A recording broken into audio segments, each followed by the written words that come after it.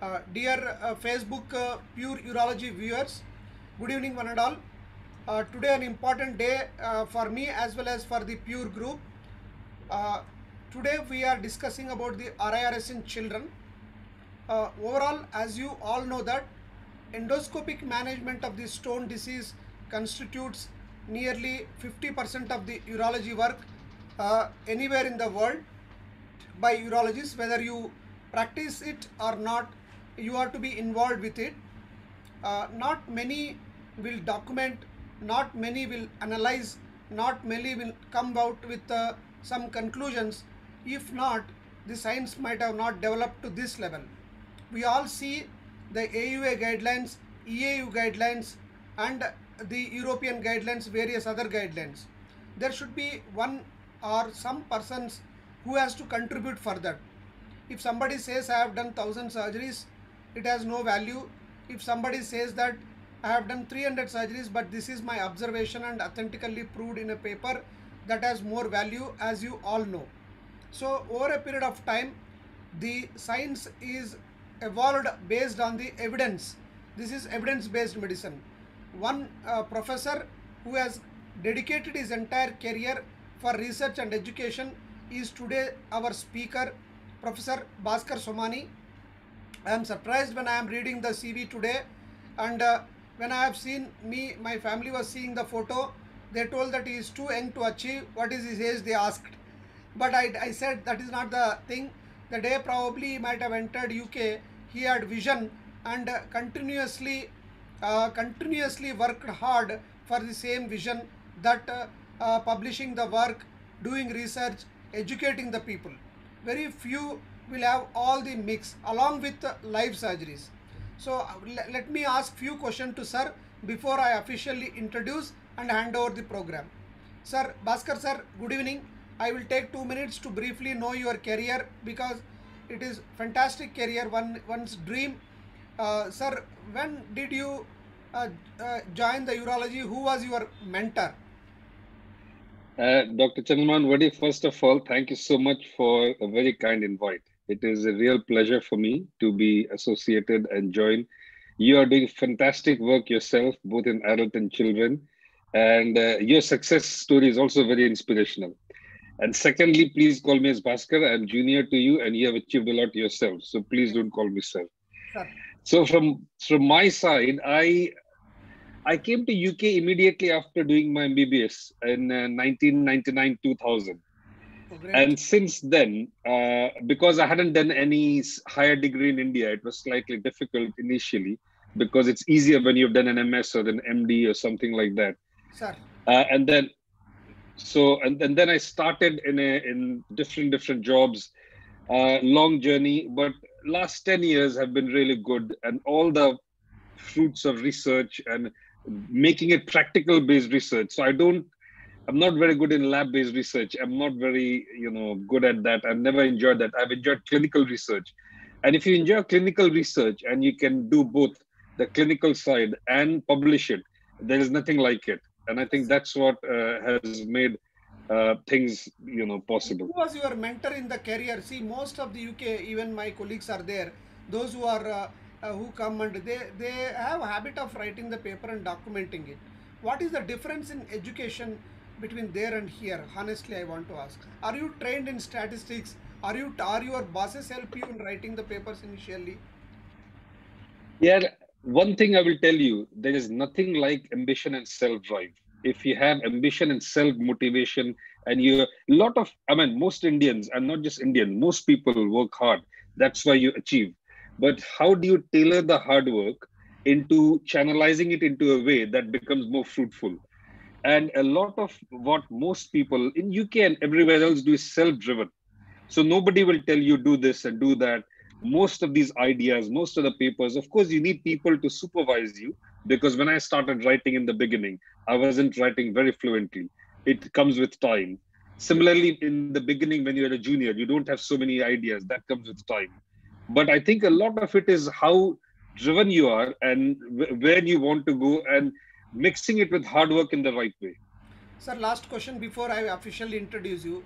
Sir, if we wanted to uh, like you to encourage the Indian urologists who are doing massive work, uh, how they should at least collaborate with one senior who can guide and help in see the predominant part honest part in india is that they in private practitioners even those who are doing volumes they never focus on documenting the findings and the follow up. so Yeah. can there be some uh, some leaders for every 100 group who are doing more than more than 100 surgeries is a big number but many urologists does it let it be ursl rirs pcnl but it is high volume and is there anything can be done where the regular training not the not the statistics not the p value but how practically we can put up the forms to fill up and then put that into the statistician's mind and then small regular follow-ups not like 10 years follow-up at least 3 months follow-up what we have to see at least in stone stonework maybe in the next uh, talk if you can give it to us it will be of a great help and people Of like course. you can motivate uh, the indians to do more research work Of course. So I, in fact, in my discussion, I have I will share one paper which I collaborated with uh, Dr. Madhu Agrawal in Agra, Yes, and sir. you will see that paper in the pediatric one. So I have always thought, you know, in career, in life, you know, you need to first of all do your surgeries well. Most people are trained in that. yes Secondly, be good, be good with the patients. Most people will do a decent job. I think the communication is a little bit. I learned a lot when I came to UK because the system here is Yes, is, is, is like that. You're exactly trained better. Correct. But where people lack is then the financial aspect comes in, and the research aspect then sometimes gets overshadowed by practicalities of life, finance, and so on. Even here in UK, for all my research, I don't get paid anything. You'll be surprised to know. So I'm a full-time clinician. Yeah, if I didn't do any research, my salary is not going to change at all. at all? Okay. Of course, the recognition and the Yeah. you have to enjoy it first of all. You have to enjoy it. So the correct. So if somebody in India wants to do research, you have to make time for it. There is a, you will never be able to say um, because all all of I mean the volume is such everybody is busy. So you have to have time, and then you need to have a group with you that you can do together because individually you can only do so much. If you have a good group around you and you share that work, and personally, I'll be very happy to collaborate with uh, you know most Indians in big centers or doing some uh, niche work like yourself. The important thing is the the data has to be good. This is where people lack because people don't maintain the data. Yes. So you need one data keeper who can maintain the data, and you don't have to have every TURP or every ureteroscopy, but you need to have, you know, data on areas which are niche. So pediatric stones, for example, I, I started 10 years ago, and I have kept my database prospectively since then. And you and, and you gradually learn where were the complication, how could you have done it better. So it helps not just for research, but also improving yourself. Yes, sir. So with this, I will uh, uh, officially introduce uh, Professor Bhaskar Somani and then uh, uh, hand over the program to because it's a li- li- limited time program. Uh, good evening, everyone. Already more than 50 people have joined. Lot many will join. He, Professor Bhaskar Somani is an endourologist with 20 years of experience. He is the coordinator of the largest simulation training for urology in the world. This is the future because number of patients available to the doctors may not be as much as 20 years back now and in future. He has published over 300 papers. I index is 40 and rg score 47 and a further of fun for 405 conference presentations. Not an easy task. He's an editorial board of five journals. He has been invited as speaker to perform live surgery and for moderations in more than 25 countries worldwide. Uh, he is an active member of BAUS, that is Bangladesh Association of Urology and Endourology subsection, and is the Wessex Clinical Research Network and Simulation led for urology.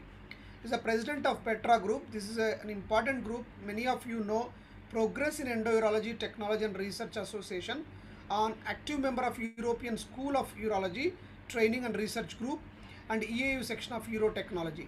Besides endourology, his current research interests include diagnosis and management of urinary tract infections, stent and catheter related infections, use of artificial intelligence and post surgery quality of life. These are the neglected areas, purely neglected areas. We depend on antibiotics. We need to understand more unless somebody do research we, can, we will not be able to enjoy. He is the advisor to National Institute for Health and Clinical Excellence Interventional Committee and has been an invited expert to NICE Urological Infection Guidelines. For his work, he won the Regional NHS Emerging Leader Award in 2015 and EAU section of Urolithiasis Annual Award 2017 and 2019. Arthur Smith Endourology Award for Surgeon in UK to win the Worldwide Award 2020. That is really great. We congratulate you for that, sir. Winner Clinical Research Award EAU section of Urolithiasis 2019. Winner Best Paper in the Literature Award EAU section of Urolithiasis 2017. That is EULIS. Joint winner NSH Emerging Leader 2015. Finalist NHS Innovation Award 2014. Royal Society of Medicine Urology section 2016.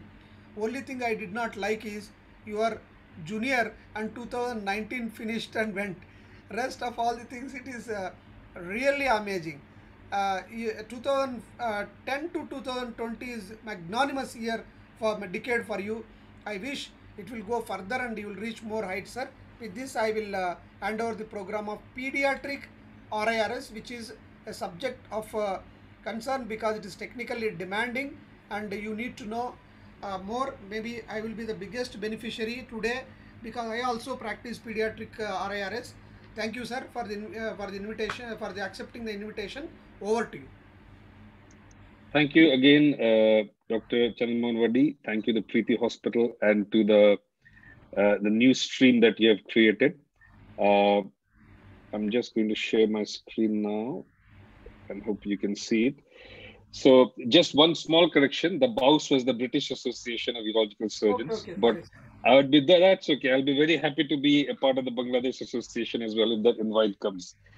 So I'm uh, going to talk and share some of the ways uh, how the pediatric RIRS, how we started it, and uh, some insights into some of the papers we have published. But at any point, please feel free to to stop me. These are some of my conflict of interest.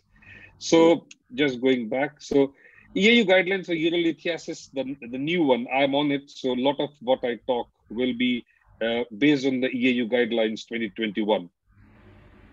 So let's look at the guidelines then. So according to the guidelines of pediatrics, you know, the, the indications are very similar to adult in terms of intervention.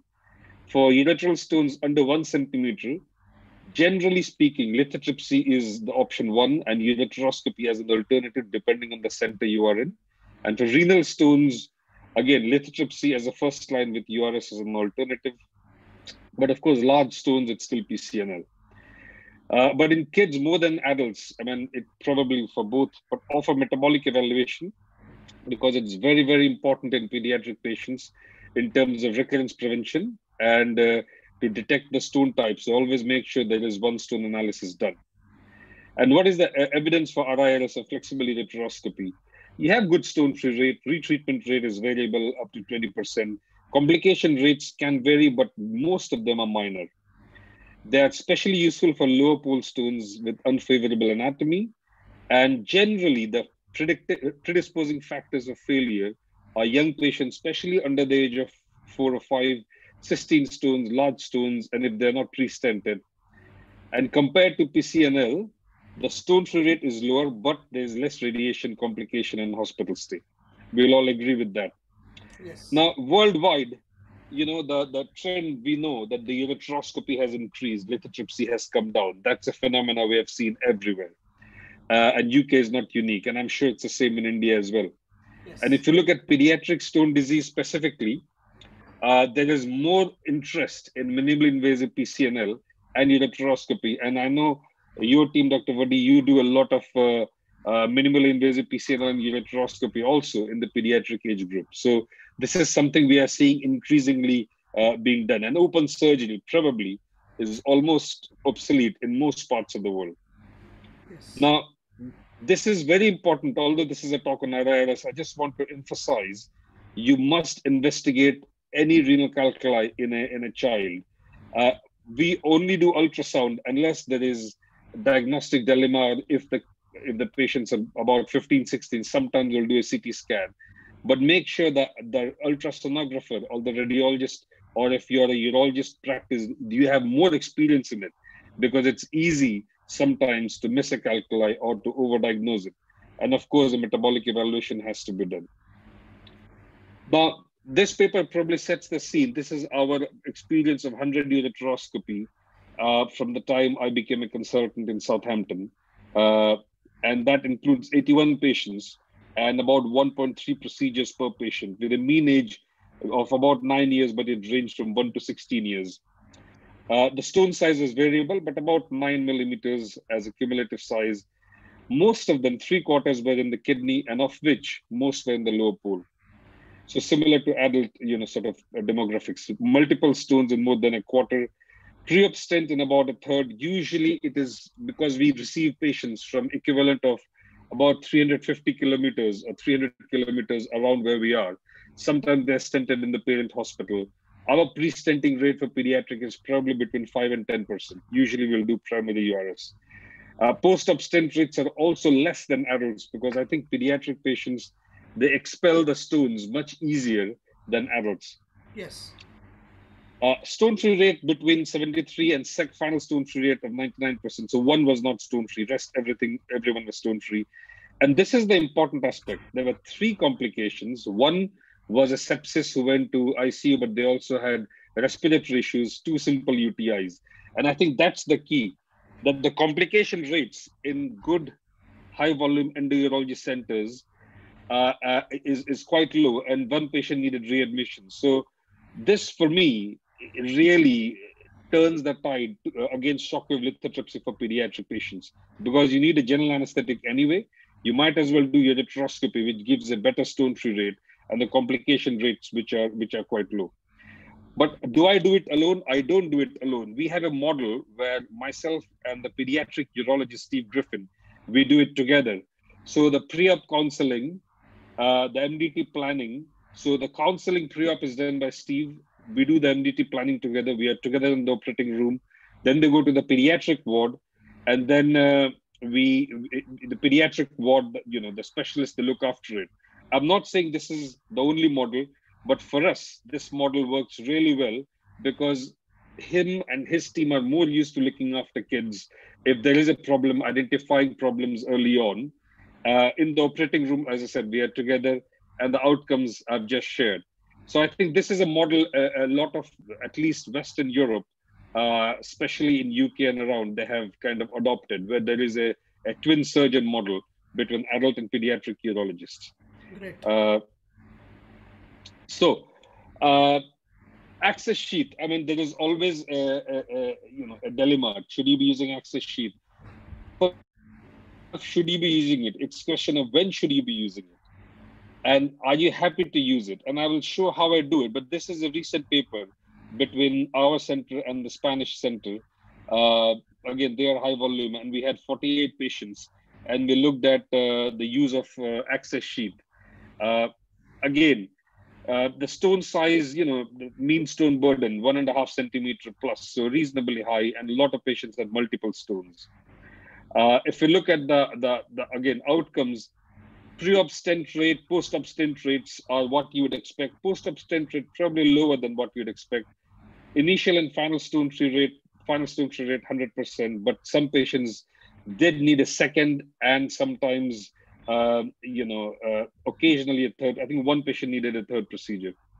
Now, if you look at the the injuries, we all dread about ureteric injury with the access sheet. But I tell you, in good hands, and when I say in good hands, I don't mean that we are good and that's why. I always do a semi-rigid ureteroscopy, even in pediatric and adult, before doing an access sheet, because you can calibrate the ureter. You can see if the scope is going to go or an access sheet is going to go, and you do then the, you you're not going to injure and passively you dilate the ureter. Yeah. So uh, we we had one minor injury, but that's it, and the complications were quite low. So I think this again shows that if you were treating larger stones, access sheet is not a bad adjunct to use. And what about long term? You know, we always worry, you know, that there will be stricture formation, especially in pediatric. This is from our center. This was published three years ago, I think. Again, use of access sheet and a mean follow-up, so large stone size. I always use the smallest size that is available, which is for, for us, it's 9.5, 11.5.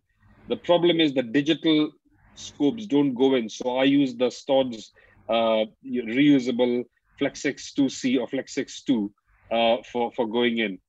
And if you look at the, the length of follow-up, you know, it was mean follow-up of just over two years and there were no complications.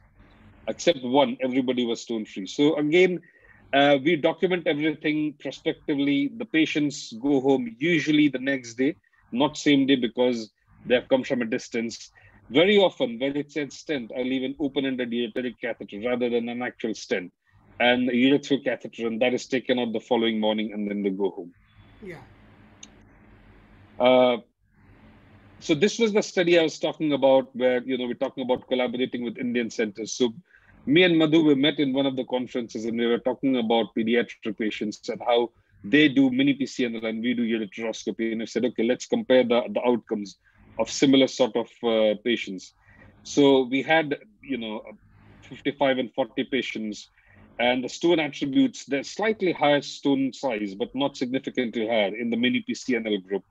Uh, but we had more multiple stones in our group. Uh, if you look at the post-op stent, of course, with ureteroscopy, it was slightly higher than mini PCNL. The stone-free rate eventually, you know, 100% versus 97.5, so no difference really. Complication rates were slightly higher with the mini PCNL, but I have to say there were minor complications. None of them are major complications.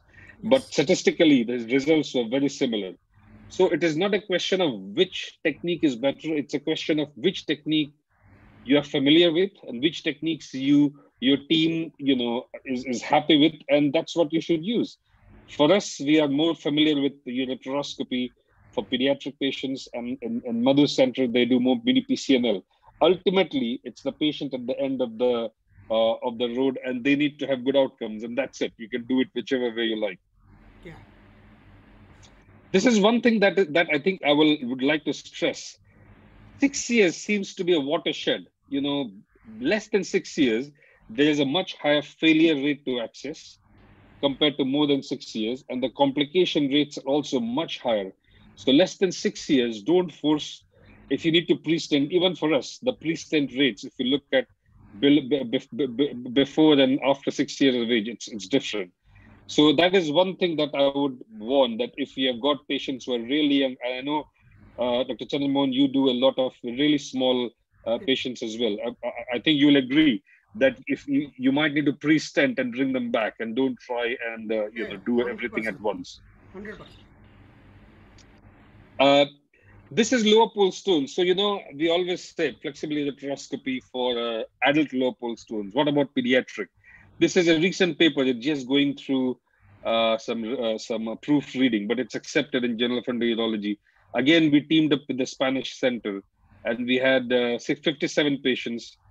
Uh, when we look at the mean age, it was between one and uh, 16 years Mean stone size, again, it ranged, but about one centimeter as an average. A uh, lot of patients having uh, multiple stones, more than 50%. Uh, stent rate similar to the other series. Access sheet used in about 42%. Uh, again, stone rate was very good. Now, I would accept low pole stone, 98%, even if you had to do some patients with a second surgery. That's actually, it's not a bad, uh, bad outcome. Complications were all UTI, not sepsis, treated with uh, antibiotics for a few days. So again, for, for lower pole stones, even in the pediatric, I think we will see gradually a shift in the guidelines. And I think probably RIRS will come up to SWL uh, in terms of the choice rather than just behind SWL. Yeah.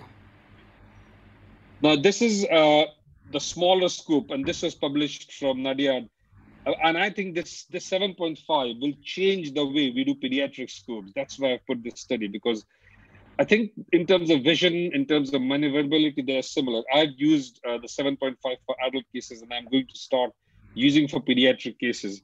But essentially, you know there is no difference by using smaller than bigger uh, bigger scope. I think the only difference is you can put it through smaller access sheath, and probably it will increase the rate of primary ureteroscopy as opposed to you know pre-stenting because the smaller scope will allow you to do that. Uh, this is something I don't practice. This is from the Spanish colleagues who I've collaborated with. They do totally fluoroless uh, surgery. I have to say, when I'm using an access sheath, I really like to see, especially at the U, U, uh, UO and at the top in the UPJ, that it's in place. I'm not comfortable not having at least, I don't screen it. I use one flash and one flash. And at the end for the stent, I just use one flash to check it is in place. Yes. Maybe you can do it fluorless, I don't know. But I find I can sleep better by at least three or four flush, and that's it. Yes. Uh, but they, but they do it, and they say that you can have it as a backup. You don't need to do it. You know, it's something probably debatable, and I think maybe if you are really good in ultrasound, you can do an ultrasound. But actually, it's not easy when you've got so many things. Patient is draped, doing an ultrasound to check things.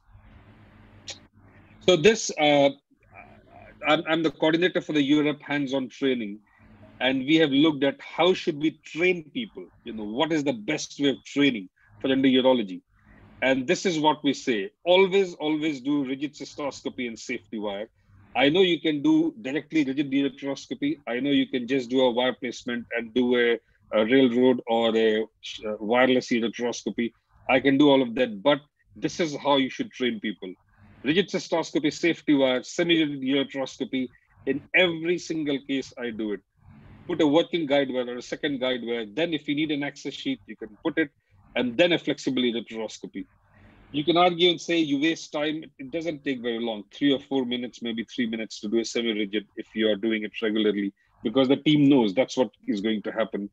But it allows you to passively dilate it, and the advantage is maybe one or two, once or twice I have said we need this access sheet. It has not got gone in, but most of the time because you have calibrated the unit, you can see which size access sheet will go in.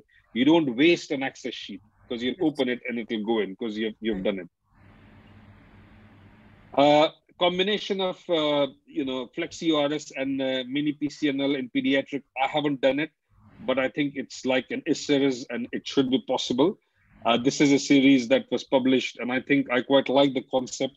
Similar to adults, you can do uh, an ECIRS in, in this. Uh, they had five minor complications, and I think maybe this will be taken up more for multiple calculi, you know. But I think ureteroscopy probably does a similar job in my mind, unless it's a really big stone for which you need to do a PCNL. Yes. Uh, this is again something very important. You know, it, does it have to be a very high volume center? And we looked at, you know, div- dividing the volumes and we defined medium volume centers who had done 25 to 50 or 49 cases. And actually, the evidence showed, and high volume has more than 50 cases, that ureteroscopy was safe in both medium and high volume centers. Now, the question is not about the center, it's also about the surgeon. If in a center, five people are doing it, clearly their experience is divided. So I think you should have one, maybe two people maximum. In our center, I'm the only one who does the the the, the flexi URS part who is then who, who then gains the experience, who then becomes better, and I'm sure the the, the, the outcomes are reflective of that. This is something uh, large stone ureteroscopy. It's always controversial, isn't it? Do you do PCNL? We looked at a preliminary series of 18 patients with stone sizes between one and six and a half centimeter. And okay, the stone free rate was not, you know, comparable to PCNL, but it was 89% and I would say probably it was not bad. Uh, and patients went home uh, the next day and there were no complications. So it is possible to do large stones. And how do I do it? Uh, this is something that I use a high power laser usually if I have, and use dusting and pop dusting. And we have published that, uh, including a video of. Uh, so start with dusting and lo- doing the outer layer, and then change it into pop dusting mode so the dusting usually is the setting as shown 0.5 to 0. 0.2 to 0.5 joules, and then followed by pop dusting. And that actually gives a very good, uh, good result. I know people are worried about the temperature inside and whatever. To be honest, I haven't seen any any impact of that. because you're not continuously doing it for many minutes. You will do and sometimes wait for the vision to clear and do again. So there's always the temperature uh, balance uh, in between. And again, we had we had good results with with this for pediatric stones. So I started doing pediatric stones uh, about sorry 10 years ago and from i can't do it because i was very nervous when i first started doing it and actually scared because eh, you know you only need to have one or two big complications and you are in trouble. So how do i do it? Always urine culture and up to date ultrasound imaging antibiotic prophylaxis absolutely a must. Cystoscopy safety wise semi-rigid we have a needle scope from wolf's 4.5 french. It's beautiful. I suggest if you're going to do pediatric work you should have really have this scope access sheath if if you have. And i think increasingly i'll be using the smaller scope uh, the 7.5 french. Keep the irrigation pressure and i think the timing is important. Don't try and do it for a very long time. Stage it if you need to. Uh, post-op overnight uretary catheter or stent if you if you whatever you're happy with. Uh, and i think the small ureteroscope allow less pre-stenting less primary urs less post-op stenting and probably higher success. So I think the smaller scopes will probably be increasingly used uh, in pediatric patients. Uh, and and if it's single use, uh, I I know it's single use or multi single use, but yeah, whatever. But I think smaller scopes will be become more popular. I, I, I have used this and I, I I think it's quite quite good, and the vision deflection is quite good, similar to the adult scope. Thank you so much. Great. I'm very happy to let's discuss some questions and Yeah, whatever else. Uh, Uh, I, I uh, will uh, ask some question. Uh, somebody is asking. I uh, one question asked by the audience is that Nitin uh, Gadgil, uh, is close friend of mine. He is asking smaller length flexible scope. Is it available? Uh, and uh, smaller luminal. Already you mentioned that 7.5 is the world's smallest flexible scope. And smaller length. Uh, do you have experience? sir? To be honest, I've the smaller length rigid ureteroscope is available. Yes. Flexible ureteroscope, as far as I know, it's not. But realistically, you don't need a smaller length Yes. because even when you are doing the, even if it's a young young young patient, let's say two three year old, the length of the ureter, in my view, is very similar to an adult. Once you're in the kidney, you don't realize it's a Yes. pediatric or adult.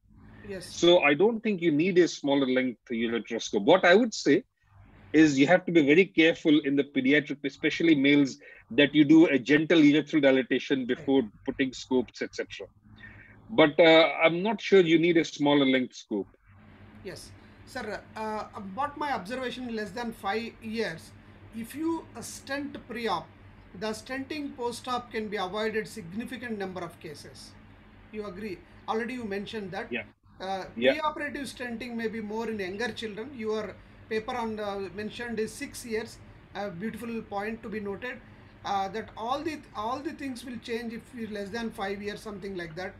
Uh, once is- they are more than 10 years they are almost they became they behave almost like adults Correct. uh, what, Correct. what uh, sir in uk what uh, lengths of the stents uh, you have all the lengths available in your ot because we use standard 16 centimeter even my paper Yeah. in indian journal of urology less than 5 years is accepted they may, the many of the reviewers asked uh, why you are telling only 16 centimeters uh, why only 3.5 french in all cases do you Yeah. use different type of sizes and lengths So we have uh, so because pediatric patients come in a range. So Yeah. like I did two cases on Monday. We used for one we used 4.2 20 centimeter. okay, And for the other, we used 4.7, and I think it was 24 centimeter because it was slightly big. Sometimes, if it's like a proper adult, some 16 year old are like adults. You know, you know they're Yeah. tall and big. Yeah. Although they're 16 in age, they are like oh, They are normal adults. like They're correct. So there, I wouldn't hesitate using a six French 28. So I I I, I don't think it depends. So I mean, we know that from from studies that the size of stent doesn't really matter in terms of the dilatation. Yes, yes, yes. And, so uh, I think whatever you are comfortable with is fine. Yes. But my, my observation, majority of the children less than five years in RIRS get uh, evening uh, low grade fever. Uh, nearly 40% was in my paper but next sim, continuing same antibiotic it disappear next day afternoon so i rarely discharge on the same day i'm always afraid you also mentioned that they will be coming from distant places uh, Yeah. if they are from your local native uh, local place uh, wha- what about you uh, you doing uh, pediatric rirs as daycare surgery So, so we have done it. I think that the thing with pediatric patients is the degree of compensation. yeah You know, if they decompensate, they go down very quickly. yes So I don't think there is, you know, there is no merit in doing. Can it be done? Yes, it can be done. I have done it. Is it necessary to do it in all cases? There is no proof, point to prove. great You can easily keep them overnight, you know, and you can send them. If they're like adults, you know, 15, 14, 15, Okay. 16, then you can do it. But in younger kids, purely because if they get an infection, suddenly they decompensate. If they are a little bit distant. Yeah, yeah, correct. Great answer. Sir, do you do RGP at the end of the procedure uh, or not necessary if you have cleared single stone, upper, upper calyx or middle calyx, you know that everything is cleared? No, because the PCS is small and you, you can easily visualize. Uh, generally, RGP at the end is not required, I, I, I feel. Uh, do you do you do RGP at the beginning or at the end? So I don't do it at the beginning. I do it at the end, and I'll tell you why. Yeah, The reason is, I know that I have checked the calyces. yeah, If you do an RGP and then you follow the calyx, you know, so you walk the calyx effectively one, one. and keep a picture. Yeah. If there is a recurrence in five months, six months, one year, it's easy to say we walked the calyx, it was fine. Unless you're recording every case and keeping it in the file, which is not possible. So I do it so that if there is a recurrence, or let's say there was something which is just outside the pelvic system, then you can say, look, we've been there. This because they will always say there is a stone, there is a stone. But if you have done the, if you have walked the calyx, then you can say no, we have done it, and actually uh, there is no stone. Or if there is a recurrence, you can say there is a genuine recurrence rather than because you missed it. Sir, uh, uh, in, in, in children, do you think that metabolic, apart from the metabolic part, for example, if you leave a small stone like 2 mm, it is a chance because you make powder, pop dusting, some stone may stick to the mucosa, you may not able to catch it, naturally they will fall. I have seen in children, as you said, falling rate, I mean drop the stones and then they pass through the ureter. Do you think that they grow faster and they come again and again back? What is your experience? For example, you operated at 3 years. Uh, if they follow around 12 years, uh, majority of the parents' concern is how often I have to come and uh, do they recur fast? Uh, what is your opinion, sir? I mean, practically. So, so I think in pediatric, almost 50%, if not more, have got some sort of underlying problem. It could be metabolic, it could be functional, it could be anatomic problem. So I do think that the recurrence rate as such is slightly higher in pediatric patients. Pediatrics, yeah. Not in all cases, but if you were to take 100 pediatric patients, let's say 50 or 60 have they got some sort of issue, by that you know math, there will be a higher recurrence rate. Yeah. So I, I so I think they do need to be followed up for longer, and they do need a closer follow up compared to adults, because they can't self-present. They can't say I've got pain. Yes. Sometimes you you know you have to keep an eye to know. Yeah, correct. Uh, Dr. Mohsin has asked a question micro URS in pediatric cases. I have not uh, heard of it. On micro URS, is there any micro URS? The smallest scope There is there is 4 by 6.5. Uh, So I think in Turkey, in Turkey they are doing micro URS, if I remember correctly. Uh, but the concept is exactly the same. It's minimizing the size of the scope to gain access. I have no experience, so I can't comment on it. But I Uh, think the the only place I know. is 4 by 6.5 digit ureteroscope. World's smallest is 7.5 flexible ureteroscope. Then Correct, where- correct. Where can we go uh, smaller than that if the scope is not available?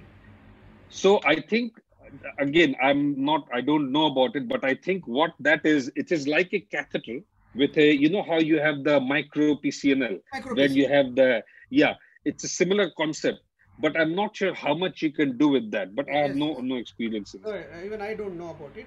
Uh, uh, generally, uh, it's a it's a theoretical question. Like first visit when you when you will call, uh, and then uh, it's said that after the stone clearance only we have to do metabolic workup. A comment on this. it logically it makes sense because let's say when they have a stone, they might have a, some degree of infection, or they might have got you know the kidneys may not be working as efficiently because the stone is blocking. So logically it makes sense, and then you also have this advantage of a stone analysis. If it's a steam stone, then you know exactly what you're looking for. So it makes sense to do the analysis after the stone clearance. Uh, sir, you have done uh, too much exp- uh, research on stent, and uh, I will ask couple of questions, and then we'll close the session. Uh, Sure. Stent, if you are if you are placing a stent, uh, what day it becomes really a source of uh, bacteria, and because we feel tenth days, I feel once it is more than a week or ten days, uh, Yeah. if you get fever, most of the times, if you remove, the fever will come down. Uh, that that's a So- standard teaching that the bacteria will settle on the and then biofilm and Correct. then releasing.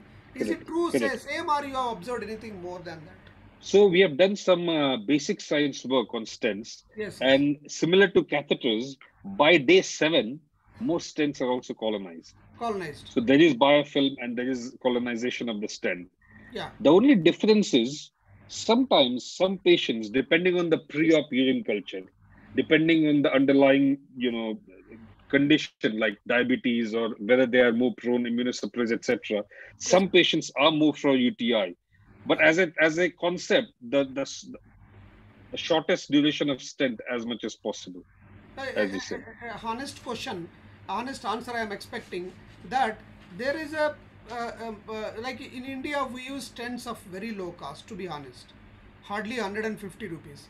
There are stents from the bigger companies like Cook 700 to 900 rupees. There are uh, metallic stents who they say that uh, five three months. I, I even even silicon catheter as a matter of fact with your experience we wanted to know that uh, do you think that uh, the rate of the bacteria growing on these foreign bodies do it really change because of the quality of catheter and the stent I, I think there is some there is some merit in that if you are leaving a, a silicone stent, like for example, if you have a silicone catheter or a latex catheter, yeah there is much higher chances of the latex catheter becoming encrusted in the end or becoming encrusted quicker. So the material does make a difference. The question is, why do you need it? If you need it just as a post-op, do you really need a very expensive one, or do you, can any stent do? yes or have you, do you need it because the patient will come back in six weeks? Like for example in uk the waiting times are very variable sometimes. It could Yeah. be a few weeks it could be many weeks many months sometimes. So if it is that then you do want a better quality stent so that the rate of incrustation biofilm or or you know is as low. It will still happen but is lower than a cheaper stent.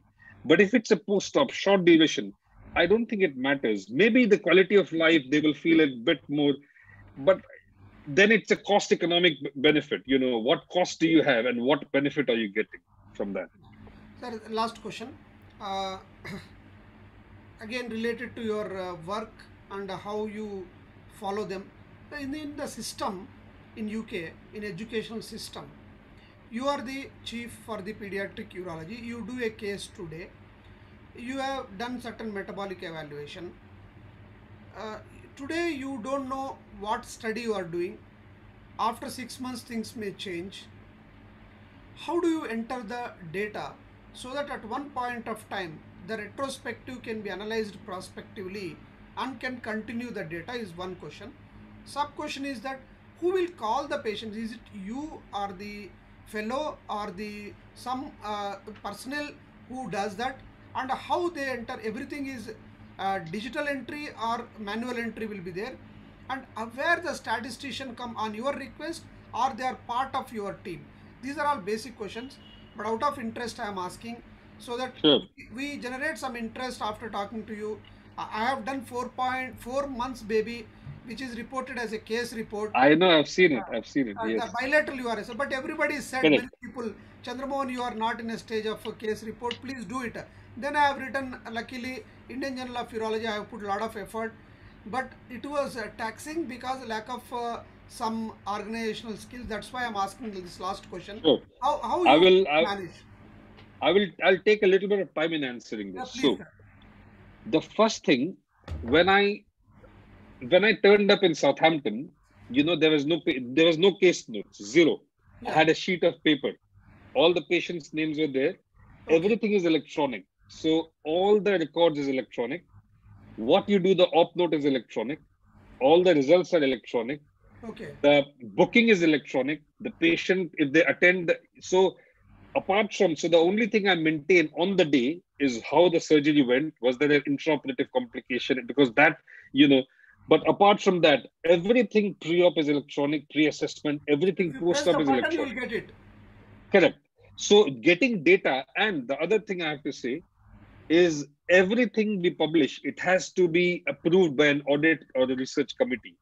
If you don't get the permission, then we will be in big trouble. So all of it has to be approved by a committee to say why you need to do this. Okay, you need to do it to build new standards of practice or to compare or to improve. So you need to have so all the data, and there is no patient identifiable data that that leaves. So I do a lot of research as well. Even in the research, the the amount of sometimes you feel a bit it's too much, but it is for patient safety. The amount of paperwork, you'll be surprised how much paperwork we have to do to get the research. But once you get that, then everything is electronic and it's actually very seamless. So Yeah. today I need to know about something. I want to take a data out for I don't know solitary kidney.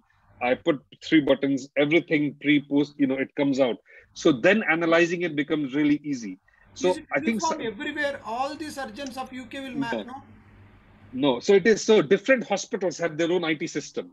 They are not linked. So I cannot get our IT system probably in Southampton is ahead compared to some other hospitals, but everybody is moving in this direction. And I think if you had to invest on one thing, if you get to, to publish, especially in context of India, because the volume, I am sure, is more than the volumes we will see. The reason why it's not possible is that is not kept in a organization, as you say, manner to harvest it.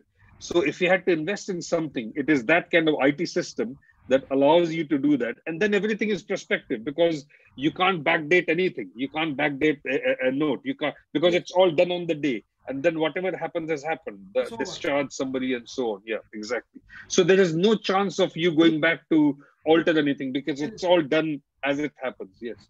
Okay. So a lot of manpower is involved and only few persons will work more hard in this, like what you are doing. Sometimes it takes nights also. Sometimes it takes Yeah. nights. Yeah, I think uh, my colleagues always tease me. So when I come home, I take a short nap, and then uh, Shweta, my wife, she's watching some Indian or some English soap. I'm watching with her, but I'm also doing the work. So she knows I'm do- watching. So you have to multitask in some way to make sure the family is happy. multitask, sir. Because I used to remember one professor, Dr. Hemal, sir, uh, when he was in AIIMS. Night when you used to go to his house at 11, all journals will be on the floor. He will be sitting on the floor and then writing on the paper. He- he, uh, uh, it, it requires a enormous amount of hard work, I must say. Great. I really Publishing is the publishing is never easy.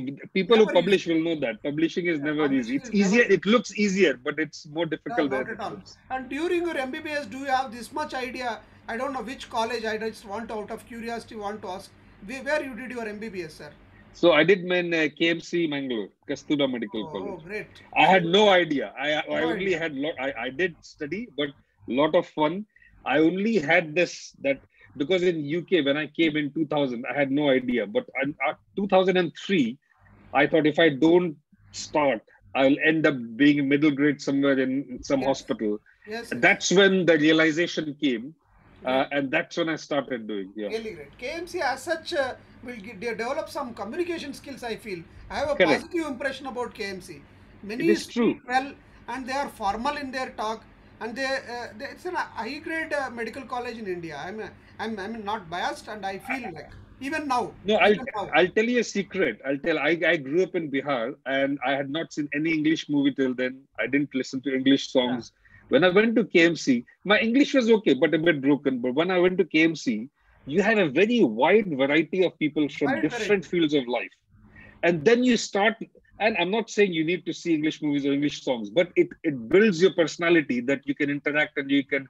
So I think it, it was very helpful in, in, in a lot of ways. the the way they see the things uh, like uh, mingling with uh, uh, opposite sex, talking sensibly, uh, uh, looking at the library, and they all they all important. Anyway, great Yeah. sir, great to know that you are KMC and a lot of research uh, uh, you have done. I wish uh, we will come to you once and see how the system works. And I am also now my my aim is to col- collect the data, put it. I am looking at the softwares and all that. Uh, writing one paper is taking one year for us. Uh, it, it's uh, hard. Uh, needs to learn, unlearn the things first, unlearn the bad habits, and then relearn. Uh, thank you very much, uh, sparing your valuable time. Uh, one time I will take again writing up the research and paper in this forum after maybe six months like that, so that Sure. many youngsters will get benefited. Hundreds of urologists are joining every year. They should uh, high time they should realize. Probably we are doing with private practice, but they should realize the importance of that. Thank you very much. Little, a little bit of time taken from Yeah, that would sir. would go a long way. Great.